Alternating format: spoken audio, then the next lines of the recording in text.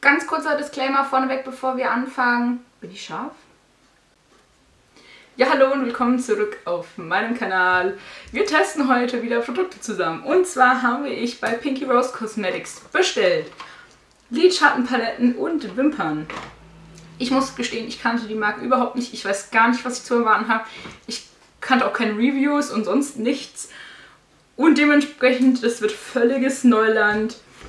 Wie die Palette, oder wir testen heute schon eine Palette, aber wie die Palette so ist, was man beachten muss bei einer Bestellung, was noch für Kosten dazu kommen, sind nämlich nicht ganz unerheblich. Ich muss ein bisschen darauf aufpassen. Das erzähle ich euch alles, während wir einen Look schminken. Oh, ich freue mich so, die Palette ist so schön.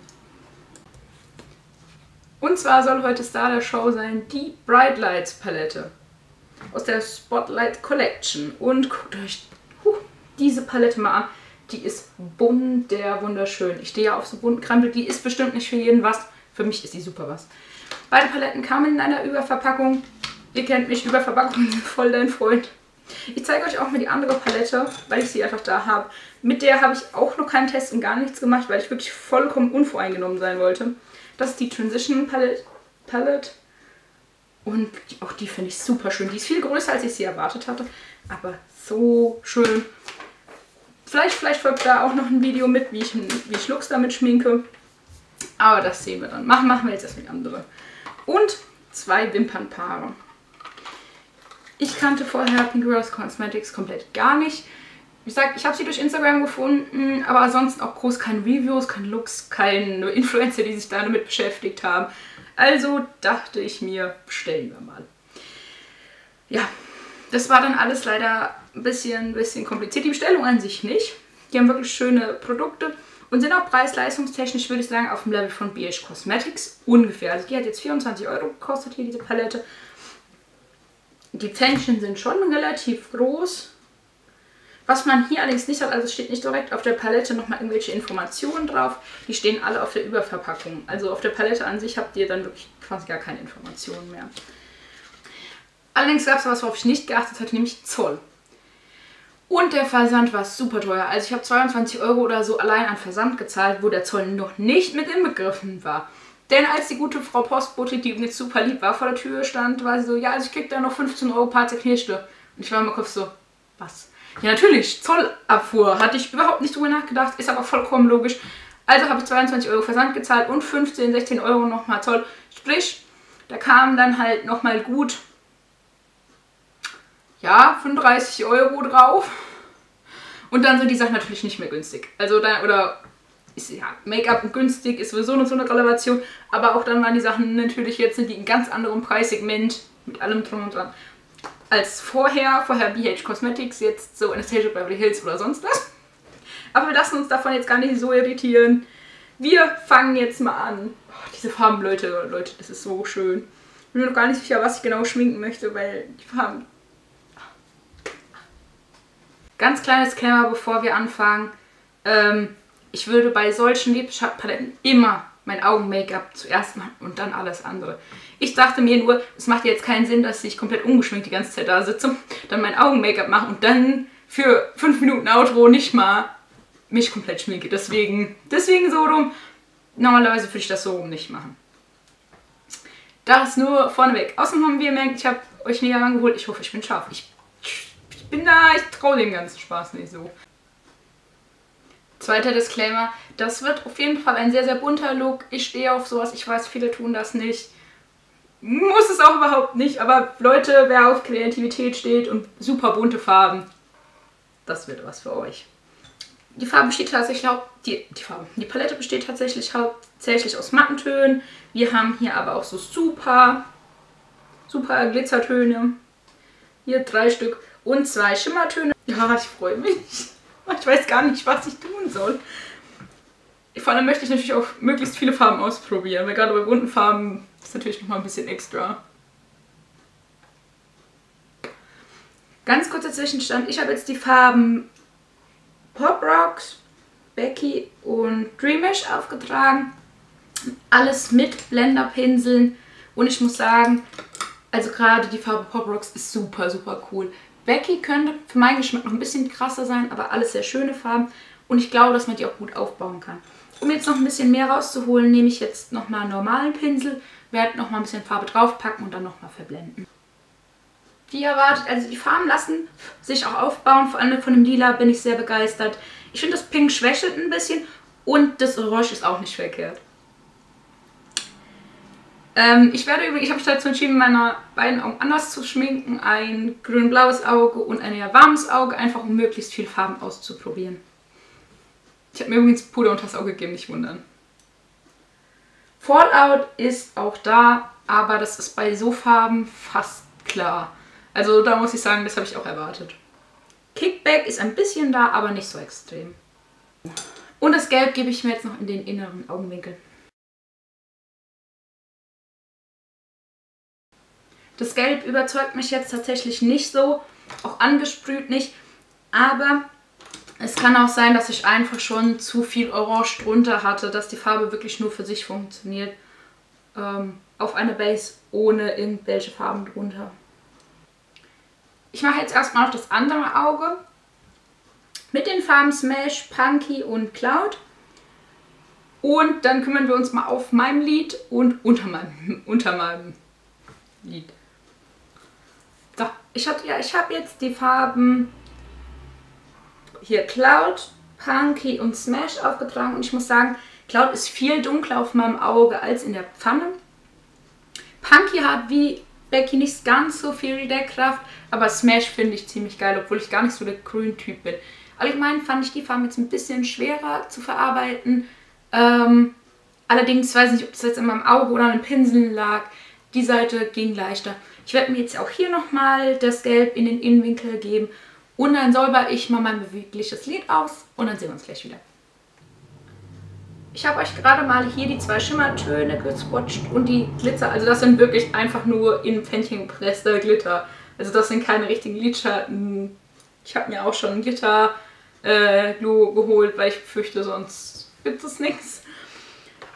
Ich tue mir gerade ein bisschen schwer fürs unter das Auge, also für das äh, blau-grüne Auge nehme ich die Farbe Glitz auch mal einfach mal, um zu gucken, wie die Schimmertöne performen. Und eigentlich, damit es halbwegs ein bisschen Symmetrie und sich die Sachen wieder nehmen, wieder nehmen, widerspiegeln, müsste ich ja eigentlich Boom nehmen.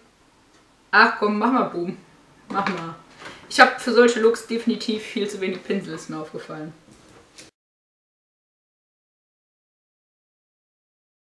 Ich habe hier hinten ein bisschen verkackt. Damit bin ich unzufrieden. Ich weiß nicht, ob die Stelle einfach jetzt nicht für die Farbe geeignet ist. Aber Ah. Hm. Ja, dann belege ich mir gleich noch mal was, weil das sieht man ja quasi gar nicht. Und ich finde mal, wenn es oben so krass ist, dann sollte es unten wenigstens ein bisschen vorhanden sein. Ich mache das jetzt so, ich gebe noch eine von den Farben, die ich auch oben hatte, noch unten mit drauf. Ähm, und gebe dann Glister einfach ein bisschen drüber, dass man das ein bisschen mehr sieht. So, ich habe jetzt einfach die Farbe Punky nochmal unter Gliss gegeben. Jetzt finde ich es besser. Ähm, ja. Und auf der anderen Seite gehen wir ins Boom unter das Auge. Und hoffen, dass das besser funktioniert.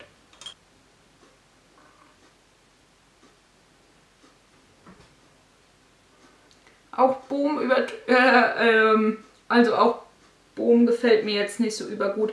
Vielleicht sind die Farben auch einfach nicht fürs, fürs untere Auge geeignet. Das kann natürlich auch sein.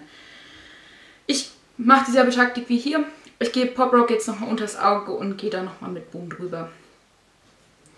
So, nachdem wir das jetzt halbwegs gemacht haben, versuchen wir uns jetzt mal ein bisschen Glitter aufs Auge zu packen. Ich würde sagen, wir nehmen hier Twinkle, Twinkle und Dazzle, einfach weil es voll gut zu beiden Augen passt.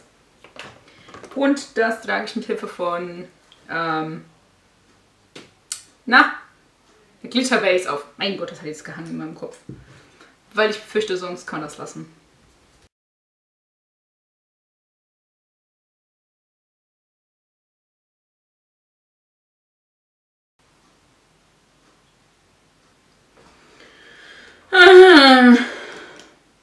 Also Leute, mir hat das jetzt gar nicht gefallen.